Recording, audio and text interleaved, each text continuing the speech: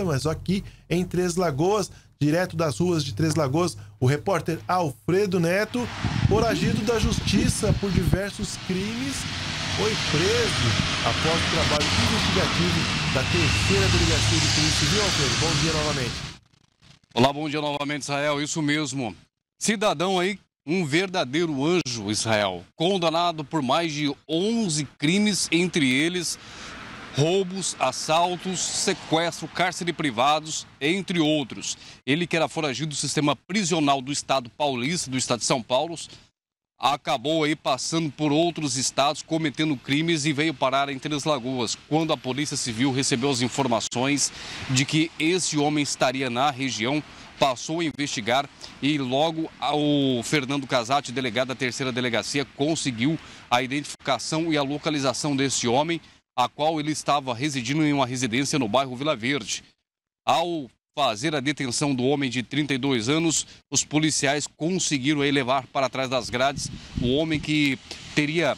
11 passagens por roubos, assaltos, sequestros e cárcere privados, além de ter sido condenado a 27 anos de prisão na Justiça Paulista por crimes praticados naquele estado e também vai responder por outros crimes praticados em outros estados, já que ele, depois da fuga, teria passado por outros estados, cometido ilícitos e vindo parar em Três Lagoas. E é claro, a polícia vai investigar também se ele cometeu crimes aqui, como roubos, assaltos, entre outros, e também tráfico de drogas, já que muitos desses criminosos aproveitam aí o roubo para poder ganhar dinheiro para poder comprar o entorpecente e assim alimentar a boca de fumo, fazendo essa cadeia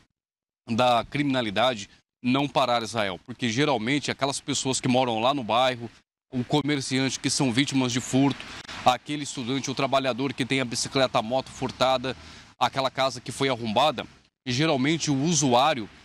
comete esse tipo de furto para pegar o produto e vender para o receptador. Receptador esse que sabe que está comprando um produto furtado ilícito e que sabe que quem está vendendo é um usuário de droga que vai comprar entorpecente. Ou então o dinheiro desse entorpecente o traficante leva para o bolso. Quando ele quer comprar drogas para poder abastecer o estoque, o meio mais fácil que ele tem de angariar dinheiro é o roubo, o assalto ou então o furto qualificado, que é aquele furto de produtos valiosos, como ferramentas, é, furtos em lojas, aonde a gente já viu aqui loja ser arrombada e cofre arrombado, ter os valores subtraídos por ladrões, entre outros furtos aí, a qual eles conseguem fazer uma captação